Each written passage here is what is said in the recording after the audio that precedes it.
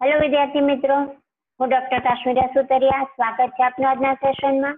આપણે અભ્યાસ કરી રહ્યા છીએ આનુવંશિકતા અને ભિન્નતાના સિદ્ધાંતો વિશે. અને ખાસ તેમાં પોઈન્ટ અભ્યાસ કરી રહ્યા છે વંશાવળી એટલે કે પેડિગ્રી ચાર્ટ પેડિગ્રી ચાર્ટમાં આપણે આનુવંશિકતા કેમ નક્કી કરવી એ પોઈન્ટ નો અભ્યાસ કરી રહ્યા છે અને અત્યાર સુધીમાં આપણે દૈહિક પ્રભાવી અને દૈહિક પ્રચ્છન્ન આનુવંશિકતા કેવી રીતે નક્કી થાય તે બંને પોઈન્ટ આપણે ક્લિયર કરી લીધા અને તેના એમસીક્યુ પણ સોલ્વ કર્યા. આજે આપણે જે પોઈન્ટનો અભ્યાસ કરવાનો છે, તે કોઈ પણ વંશાવળી ચાર્ટમાં એટલે કે કોઈ પણ પેડિગ્રીમાં જે આનુવંશિકતા છે, તે લિંગ સંકલિત આનુવંશિકતા છે કે કેમ તે નક્કી કરવાનું છે. ખાસ કરીને એક્સ લિંગી રંગસૂત્ર સાથે સંકળાયેલી આનુવંશિકતા વિશે આપણે આજે અભ્યાસ કરીશું. અને એ એક્સ લિંગી રંગસૂત્ર સાથે સંકળાયેલ આનુવંશિકતા પ્રભાવી છે કે પ્રચ્છન્ન એ આપણે જોઈશું.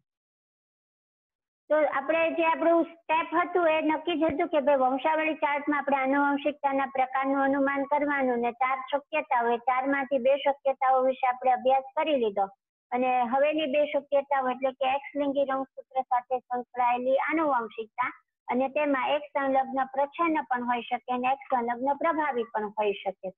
તો આજે એક્સ લિંગી રંગસૂત્ર સાથે સંકળાયેલી જે આનુવંશિકતા છે, એ આનુવંશિકતાના આમ તો મુખ્ય બે પ્રકાર છે. કયા બે પ્રકાર? તો કે ક્રિસક્રોસ આનુવંશિકતા અને નોન ક્રિસક્રોસ આનુવંશિકતા.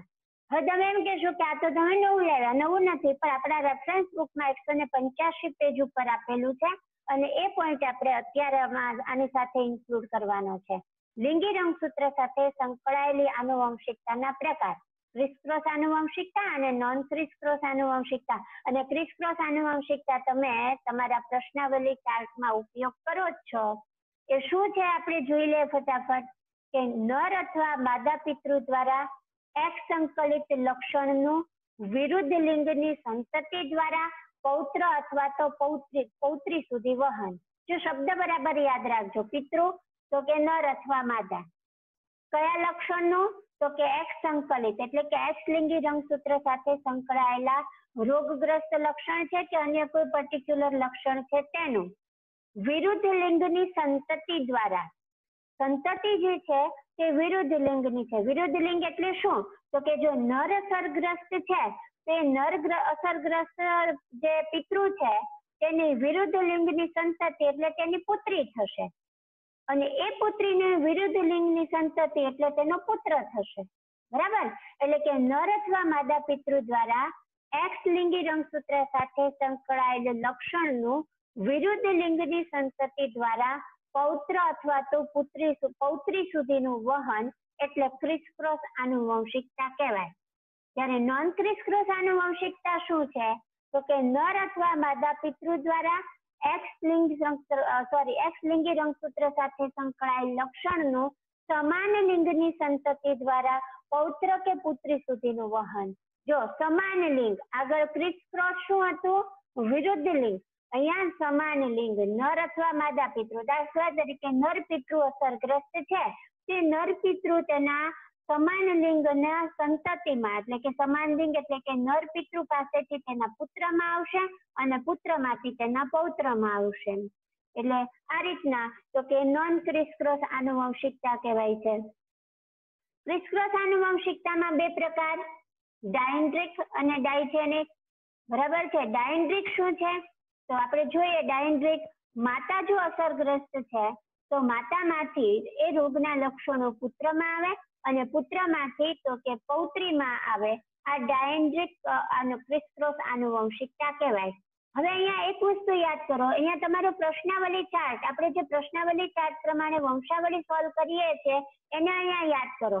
આપણે શું ચેક કરતા હતા? સૌથી પહેલો પ્રશ્ન એમાં એવો હતો કે દરેક અસરગ્રસ્ત સંતતિના પિતૃ અસરગ્રસ્ત છે? હા, મળે જવાબ તો પ્રભાવીમાં જતા હતા.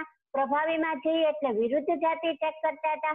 વિરુદ્ધ જાતિમાં જો અસરગ્રસ્ત નર સંતતિ છે, તો એ અસરગ્રસ્ત નર સંતતિની વિરુદ્ધ જાતિ એટલે આગળની પેઢીમાં તેની માતા થાય અને પછીની પેઢીમાં તેની પુત્રી થાય. તો અહીંયા આ અસરગ્રસ્ત નર સંતતિ અસરગ્રસ્ત નર સંતતિની માતા અસરગ્રસ્ત છે અને એ અસરગ્રસ્ત નર સંતતિની પુત્રી અસરગ્રસ્ત છે. આ પૌત્રી કોના માટે છે? તો કે આ માતાના રિલેશનમાં આ પૌત્રી થાય, પણ આના રિલેશનમાં એ પુત્રી થાય. તો અહીંયા આપણે ક્રિસક્રોસ આનુવંશિકતા એ આપણા પ્રશ્નાવલી ચાર્ટમાં છે જ તે. જે પ્રભાવી આનુવંશિકતા આપણે નક્કી કરીએ છીએ, એ આ ડાયન્ટ્રિક પ્રકારે નક્કી કરીએ છીએ. અને જે પ્રચ્છન્ન આનુવંશિકતા આપણે નક્કી કરીએ છીએ, ડાયજેનિક પ્રકારે નક્કી કરીએ છીએ. પિતા રોગગ્રસ્ત છે તો પિતામાંથી પુત્રીમાં આવે છે અને પુત્રીમાંથી પૌત્રમાં આવે છે. એટલે ક્રિસક્રોસ આનુવંશિકતા એ આપણા પ્રશ્નાવલી ચાર્ટમાં છે જ છે અહીંયા એને અલગ રીતે આપ્યું છે, માતાથી પુત્ર અને પુત્રથી પૌત્રી આપ્યું છે. આપણે એવું ચેક કરીએ છીએ કે અસરગ્રસ્ત નર સંતતિની માતા અસરગ્રસ્ત છે. અને અસરગ્રસ્ત નર સંતતિની પુત્રી અસરગ્રસ્ત છે. બંને વસ્તુ એક જ છે. ખાલી રજૂઆત જુદી રીતે આપેલી છે. ડાયન્ડ્રિક અને ડાયજેનિક એ ક્રિસક્રોસ આનુવંશિકતા છે. નોન ક્રિસક્રોસ આનુવંશિકતાના પણ બે પેટા પ્રકાર છે. હોલેન્ડ્રિક અને હોલોજેનિક. સમાન જાતિની સંતતિ દ્વારા વહન પામવાનું છે. તો હોલેન્ડ્રિકમાં જોઈએ, માતાથી પુત્રીમાં આવે છે અને પુત્રીથી પૌત્રીમાં આવે છે. એવી જ રીતના હોલોજેનિક જોઈએ તો પિતામાંથી પુત્રમાં આવે છે અને પુત્રમાંથી તો કે પૌત્રમાં આવે છે. તો આ આખું જે ચાર્ટ છે, તે લિંગ સંકલિત લક્ષણોની આનુવંશિકતાના પ્રકાર દર્શાવે છે, ક્રિસક્રોસ અને નોન ક્રિસક્રોસ ક્રિસક્રોસ આનુવંશિકતાનો ઉપયોગ આપણે આપણા પ્રશ્નાવલી ચાર્ટમાં કરીએ છીએ.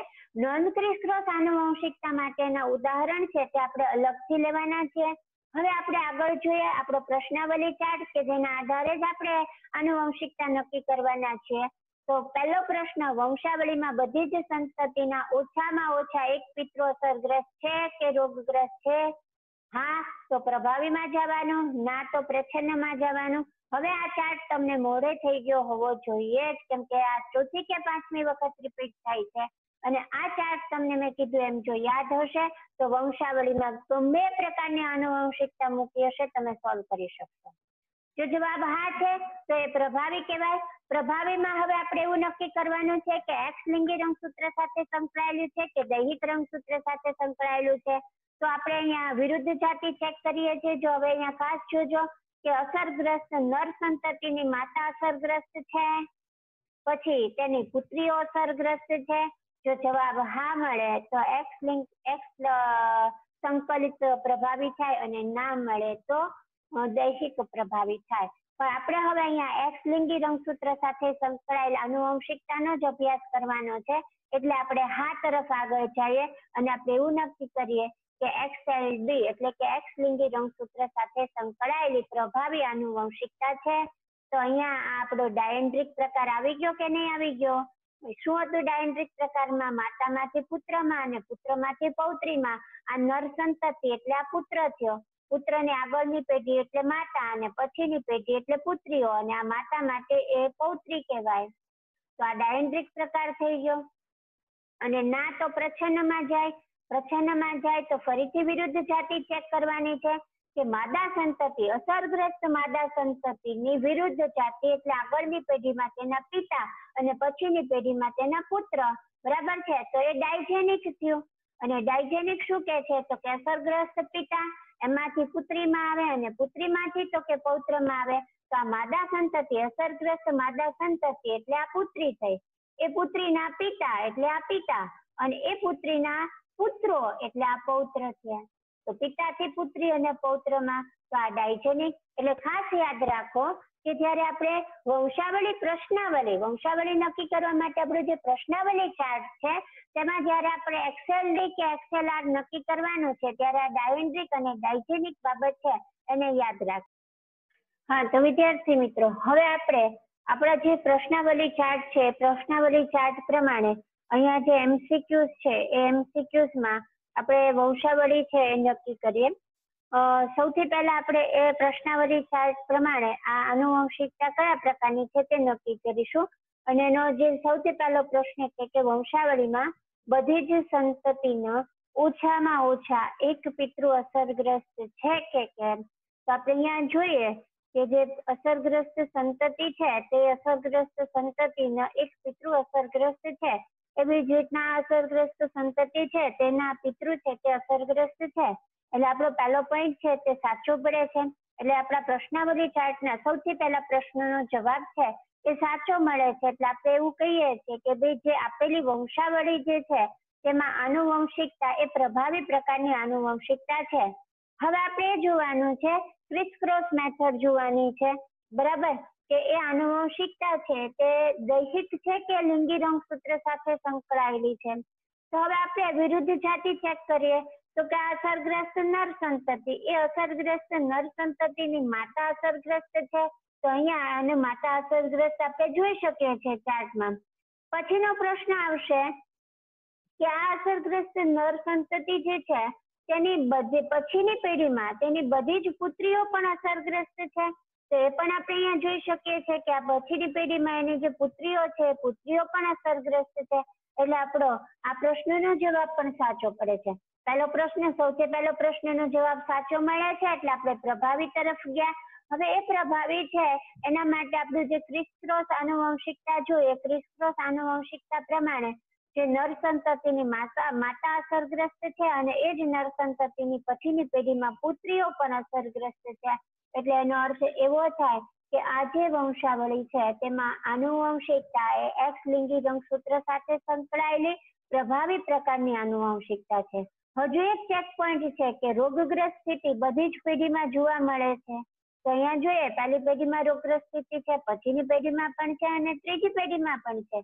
એટલે કે દરેક પેઢીમાં રોગગ્રસ્ત સ્થિતિ જોવા મળે છે, એક પણ પેઢી સ્કીપ થતી નથી, જે પ્રભાવી આનુવંશિકતાનું મુખ્ય લક્ષણ છે. એક પણ પેઢી સ્કીપ થતી નથી એક્સલિંગી રંગસૂત્ર સાથે સંકળાયેલી આ પ્રભાવી આનુવંશિકતા છે. તો આ જ પ્રમાણે તમારે પણ ઘરે આ પ્રશ્નાવલી ચાર્ટ પ્રમાણે જે કાંઈ ત્રણ જે અહીંયા મેં આનુવંશિકતા આપી છે તમને વિડીયોમાં, એ ત્રણેય આનુવંશિકતાને પ્રશ્નાવલી ચાર્ટ પ્રમાણે સોલ્વ કરવાની છે અને તે પ્રમાણે તેની આનુવંશિકતા નક્કી કરવાનો પ્રયત્ન કરવાનો છે. આ સૌથી પહેલી વંશાવળી છે. આ પછીની વંશાવલી ચાર્ટ છે.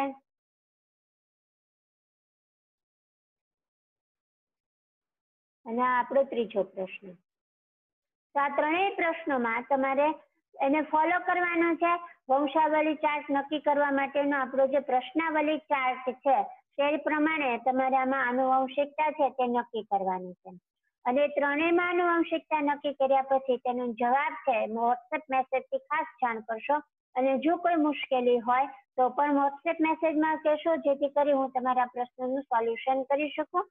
બરાબર? ખાસ આજે આ ત્રણેય ચાર્ટ છે, એ ત્રણેય ચાર્ટમાં આનુવંશિકતાનો પ્રકાર નક્કી કરી અને જવાબ ચોક્કસ જણાવશો.